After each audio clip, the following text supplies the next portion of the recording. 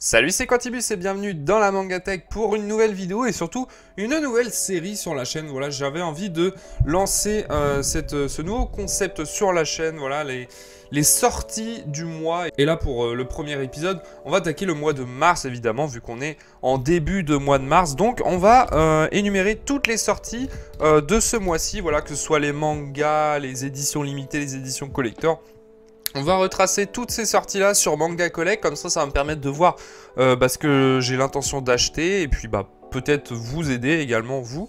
Alors c'est un concept qu'on m'a beaucoup euh, demandé voilà, sur, euh, sur les réseaux, sur YouTube, et même sur, Discord également, donc voilà, je le fais.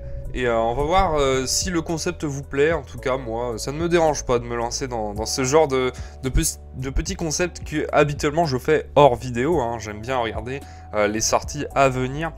Donc, euh, excusez-moi par ailleurs d'ailleurs, je la sors un petit peu à la bourre. Euh, oui, on est le, bah, à l'heure où vous allez regarder la vidéo, peut-être qu'on sera le 4 ou 5 euh, mars. Donc les prochains épisodes, évidemment, que je le ferai en général le premier du mois. Donc on est parti pour le planning de ce mois de mars 2022. Allez, on va commencer avec du coup les sorties de ce mercredi 2 mars 2022. Donc bah c'était hier pour la plupart des gens ou même avant-hier. Mais néanmoins je vais quand même repasser sur euh, ce qui est sorti. Voilà. Euh, alors je connais pas évidemment tous les mangas. Euh, vous comprendrez que je peux pas parler de tout. je vais juste parler de ceux que bah moi ils m'intéressent ou ceux que je connais. Par exemple, là, bah, mercredi 2 mars, il n'y a pas énormément de choses, moi, qui, qui m'intéressent des masses. Il y a si, il y a quand même euh, la réédition de Dragon Quest, la quête, enfin l'aventure of euh, Die. Ça, c'est quelque chose que j'avais déjà acheté. J'avais acheté le premier tome dans son ancienne version, et donc là, ils font un format. Alors, ils appellent ça une édition de luxe. C'est pas un grand format, c'est pas une perfecte édition. L'édition de luxe, elle, est juste dans un format euh, double volume et des pages couleurs. Mais c'est très intéressant, donc je vais prendre les deux tomes. les deux euh, m'intéresse. Donc voilà, je vais faire ça. Tac. Tac, voilà. Donc les deux m'intéressent. Je les mets de côté. Et, euh, Tokyo euh, Mew Mew ou, ou Mew Mew Power, pour ceux qui connaissent, alors ça c'est pas pour moi, c'est pour ma copine parce que je sais que ça l'intéresse également. Je crois qu'elle a déjà acheté les deux premiers, donc je les mets de côté. donc voilà pour le mercredi 2 mars. Je vois qu'il y a aussi Body. Alors pourquoi enfin True Beauty si je, si je dis avec l'accent. Euh, pourquoi je pointe là-dessus? Parce qu'il y a une édition, enfin un petit coffret collector euh, qui est sorti. Voilà, donc c'est des mangas euh, grand format, je crois que c'est des webtoons à la base, donc c'est pas trop mon délire, mais voilà, juste pour vous prévenir qu'il y a une sortie de petit collector. Alors collector entre guillemets, hein, je sais plus c'est quoi le contenu, mais t'as juste les trois premiers tomes plus des ex-libris ou un truc comme ça, ou des cartes postales. Ça doit être dans ce style-là. Ensuite, le jeudi 3 mars 2022, il y a la sortie de, My Hero Academia. Euh, Vigilante le tome 13, donc ça, euh, oui, ça m'intéresse. Euh, putain, ça fait longtemps qu'il n'était pas sorti. Enfin, celui-là, je l'attendais. Je sens qu'on est sur la fin. Je crois que c'est la fin à peu près de la, de la, série. Il y a Freerun également. le coffret de Freerun, bah lui, je l'ai déjà. J'en ai fait une vidéo d'ailleurs si ça vous intéresse. Mais néanmoins, je vais quand même euh, je vais sûrement reprendre le, bah, ces, deux tomes, le 1 et 2, parce que le 1 et 2 est sorti le jeudi 3 mars 2022. Euh, si jamais le 1 euh, m'intéresse, je reprendrai le 1 et le 2. Ensuite, les sorties du 4 mars 2022. Alors là, personnellement, moi, il n'y a rien qui m'intéresse le mercredi 9 mars 2022. Par contre, là, il y a des sorties, il y a pas mal de grosses sorties, notamment le 12e volume de l'édition colossale euh, de l'attaque des titans. Donc voilà, je sais qu'il y en a beaucoup qui euh, collectionnent plus les éditions euh, colossales plutôt que les éditions normales, celles qui se trouvent juste en, dessous de moi, là, derrière. un manga de, Zelda, Twilight Princess. Alors il me semblait qu'ils avaient déjà sorti. ça doit être en plusieurs parties apparemment. le tome 10. Je sais pas à quoi ça correspond à peu près. Moi, les, mangas Zelda, je fais que les gros, euh, vous les gros volumes. Donc, euh, honnêtement, je sais pas où ils en sont euh, dans les petits formats. Il y a quelque chose de très intéressant également, le mercredi 9 mars 2022 qui sort en librairie, c'est Look Back c'est par le même mangaka que Chainsaw Man, donc j'en attends beaucoup parce qu'en plus c'est un one shot, donc je suis très intéressé par les one shots. Ça se lit très bien, voilà, en une soirée en général, c'est bouclé. Et surtout, bah, j'en ai entendu beaucoup de bien, donc voilà, je, pense que je vais essayer Look Back.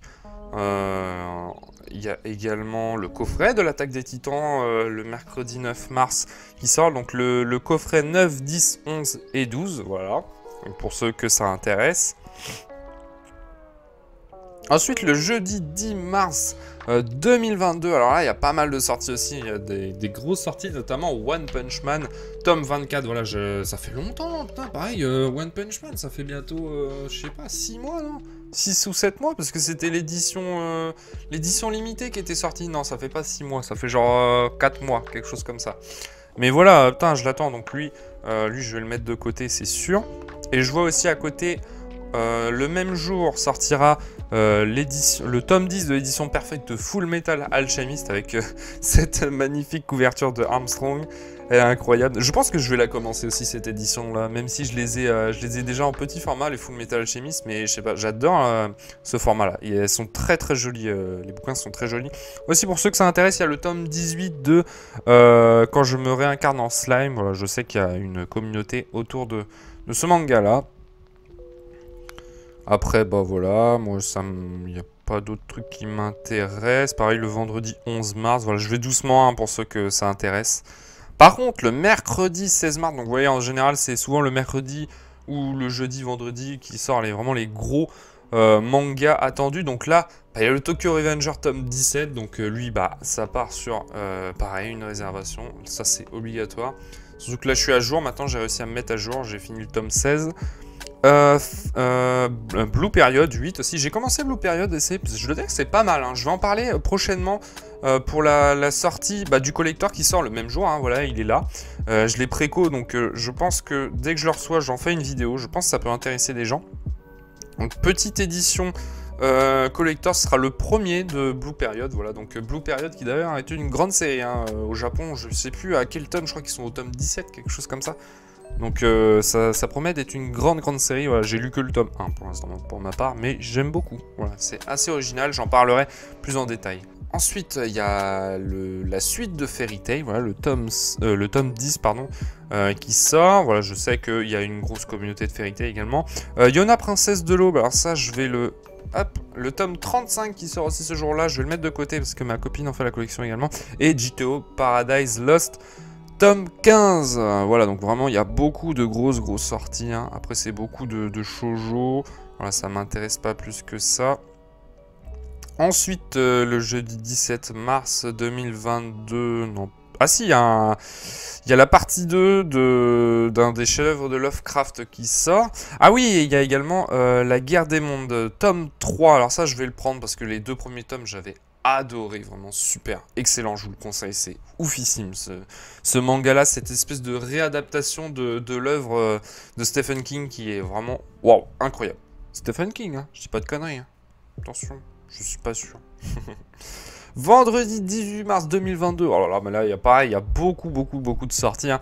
Il y a Fire Force tome 22, Boruto tome 13, Mission Yuzakura tome 6. Alors ça, ça m'intéresse, je vais le mettre de côté parce que je suis presque à jour. Il faut juste que je lise le tome 5.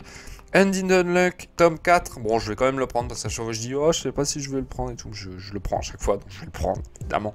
Euh, Shaman King dans les Star Editions, le tome 13. Voilà, les éditions doubles. Et euh, après, euh, bon, après, je connais pas trop. Le lundi 21 mars, euh, il y a trois tomes de Irene qui sortent, voilà la fin de la série. Mercredi 23 mars, il y a Demon Slayer tome 21, ainsi que son guidebook, voilà le databook qui sortent en même temps. Et pourquoi ils sortent en même temps? Bah parce qu'il y a le collector, bah oui évidemment. D'ailleurs le collector de Demon Slayer, je vais pas le prendre, je compte pas en faire une vidéo, je vous explique pour, parce que pour moi, ce n'est pas vraiment une édition collector. Hein, puisque pour moi, une édition collector, c'est quand tu as des produits inédits dans un collector. Donc là, le seul produit inédit qui a vraiment un de valeur dans ce coffret, bah c'est juste la boîte. Et je veux pas acheter ce coffret juste pour une boîte, je vois pas l'intérêt. Puis en plus, Demon Slayer, euh, je suis pas hyper fan. Personnellement, je suis pas hyper fan de Demon Slayer, donc voilà, j'en ferai pas une vidéo. Je vous dis juste que, dans ce coffret, il y aura le tome 21 et le databook, et encore le tome 21, il y aura même pas de couverture alternative. Donc euh, je. Je vous le dis comme ça, moi je vois aucun intérêt euh, dans ce coffret collector et je crois que c'est bah, d'ailleurs Demon Slayer, ils ont vraiment l'habitude de le faire, ce genre de, coffret inutile euh, Panini Comics. Alors ensuite, pareil, ReZero, le roman numéro 9, je sais qu'il y a beaucoup de fans de ReZero. Là on voit qu'on arrive sur la fin du mois parce qu'il n'y a plus beaucoup d'illustrations. vendredi 25 mars, voilà, il n'y a, rien d'intéressant pour moi. Je suis en train de lire rapidement, mais non. Je pense que là, on a fait le tour. Voilà, mercredi 30 mars 2022. Euh, le tome 8 de la parfaite édition de Banana Fish. Je sais qu'il y en a aussi qui, le, qui en font la collection. Mais voilà, jeudi 31 mars. Euh, tac, tac, tac, tac. Ouais, bah non. Bah voilà. Donc là, j'ai fait le tour. J'ai fait le tour des sorties euh, de ce mois de mars 2022. Voilà, j'espère que euh, vous y avez trouvé quelques petites choses voilà, qui vont vous intéresser. Alors, je suis sûr parce que ah, ça va être un mois très très chargé le mois de mars. Il va y avoir énormément de grosses sorties voilà, que j'attends depuis un bon moment, notamment One Punch Man. Voilà, je suis très impatient et Tokyo Revenger. En termes de collector aussi, on a quelques-uns aussi, c'est assez cool. Pas des gros collecteurs très attendus, mais quand même des collecteurs voilà, que je pense que je vais en faire euh, une vidéo si jamais ça vous intéresserait euh, de connaître le contenu et mon point de vue sur la qualité de ces coffrets. Donc du coup, bah, c'est ainsi que cette vidéo se termine. N'hésitez pas, comme d'habitude, à lâcher le petit pouce bleu si le concept vous a plu. N'hésitez pas à me le dire aussi en commentaire et à vous abonner si ce n'est pas déjà fait. Du coup, on se dit à la prochaine. C'était Cantibus de la Mangatech. Salut